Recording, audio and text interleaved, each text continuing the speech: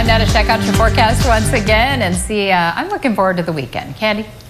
That's right, but tomorrow is going to be really, really nice, Tammy. We are looking at temperatures in the low 70s, so it's going to feel like spring out there. So I hope you take advantage and go for a walk if you can. So here's a live look of downtown Bakersfield, and today was also a beautiful day. We were in the low 60s, but again, above average, 60 degrees right now. Humidity is at 64%, and winds are pretty calm. In our high for today, as you can see, was 66 degrees. We should be around 63, and the record is 79, set back in 2016. And the reason why we're warming up is this right here. We have a, a high a system, a high pressure system that is going to dominate over the next day or so.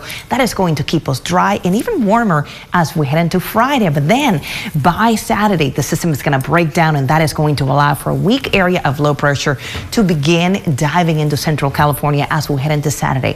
It's not going to be a big rainmaker, but it's going to bring uh, colder air into the region, which means that we'll see, well, light showers and also we're expecting snow in the higher elevations. And that's another thing that we're watching very closely. Here's a look at the Futurecast model. You can see by tomorrow we, we're going to see some increasing clouds. And then Saturday morning, look at this, by the 2.30 a.m. on Saturday, we're going to see light scatter showers across the area. And then we clear out. It looks like we're going to be on and off throughout the day, but it's not going to be a lot. So once again, we are expecting maybe if we're lucky, three hundredths of an inch of rain for Bakersfield. And it's going to be a little bit higher in the mountains. You can see Pine Mountain Club could see upwards of a quarter of an inch of rain. So now what we're watching really closely are the snow levels that could drop to 4,000 feet, which means that the grapevine could be impacted 58. So once again, we're cutting it very close. We'll keep you updated as we head into the weekend. But so here's what to expect tonight. We do have a fog advisory in place north of Bakersfield impacting areas like Wasco, Delano. So once again, if you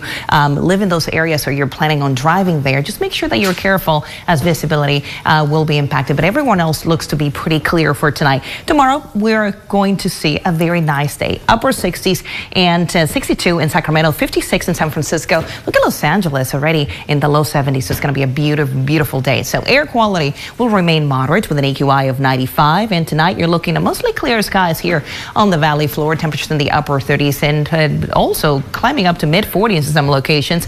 And tomorrow is going to be mostly sunny and uh, really nice. Up in the mountains in the Kern River Valley, you're looking at 62 for Wofford Heights, 58 in Frazier Park. And those overnight lows will remain in the 30s. And out in the desert, you're looking at 62 for California City, 61 out in Mojave with increasing clouds and breezy conditions. So here's a look at that 70 forecast for you. And we're going to enjoy a really nice Friday. But then look at what happens on Saturday, a completely different picture. We'll be back in the low 50s. We got 10% chance of showers. And then Super Bowl Sunday looking nice in the upper 50s. And uh, by Friday, Tehachapi looking really nice, breezy conditions, light showers by the weekend.